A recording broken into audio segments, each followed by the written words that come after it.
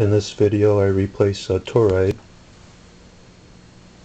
with two small 10 microhenry chokes.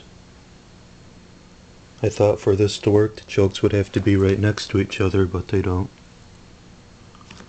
One way over here and the other one's way over here. They're quite a ways apart.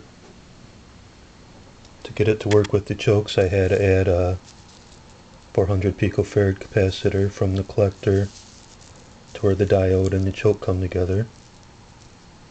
For this to work you have to use a 2N2222 transistor. I couldn't get it to work off a MPSA 06.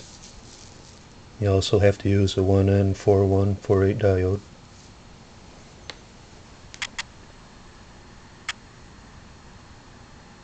Here's a spectrum on it. The main spike's at about 5.9 and it stretches down to just below 40 megahertz.